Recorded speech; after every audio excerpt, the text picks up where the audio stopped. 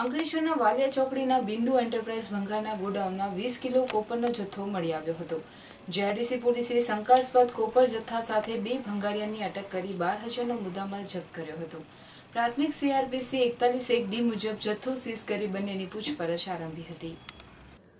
Ankleshwar GIDC police મથકના surveillance સ્ક્વોડના ASI Sukabhai તથા સ્ટાફના સભ્યો સાથે પેટ્રોલિંગમાં હતા. તે દરમિયાન વાલિયા ચોકડી પર આવેલ એરિસ્ટો કોમ્પ્લેક્સમાં આવેલ બિંદુ એન્ટરપ્રાઇઝ નામના ભંગારના ગોડાઉનમાં શંકાસ્પદ કોપરનો જથ્થો હોવાની ચોક્કસ માહિતી મળી હતી, જે આધારે દરોડો પાડતા ભંગારના ગોડાઉનમાંથી કોપર વાયરનો જથ્થો મળી આવ્યો હતો અને પાઇપના ટુકડા મળી આવ્યા હતા.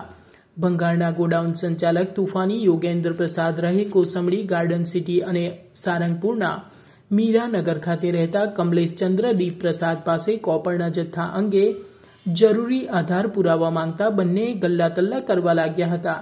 અને આ અંગે કોઈ સંતોષકારક જવાબ ન આપતા પોલીસે કુલ વીસ કિલો કોપરની કિંમત રૂપિયા બાર હજારનો જથ્થો, સીઆરપીસી એકતાલીસ સબસેક્શન એક ડી મુજબ જપ્ત કર્યો હતો. તેમજ સીઆરપીસી એકસો બે મુજબ તુફાની યોગેન્દ્ર પ્રસાદ અને કમલેશચંદ્ર દીપ પ્રસાદની અટક કરી કોપરનો જથ્થો ક્યાંથી અને કોની પાસેથી લાવ્યા તે અંગેની પૂછપરછ આરંભી હતી.